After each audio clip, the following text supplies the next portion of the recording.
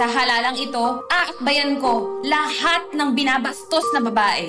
Bibigyan sila ng tapang ipaglaban ang sarili. Iboto number 146 Akbayan, ang party list ng Bawal Bastos Law. Paid for and by Akbayan Party List, 52 Masikap, Pinihan, Quezon City.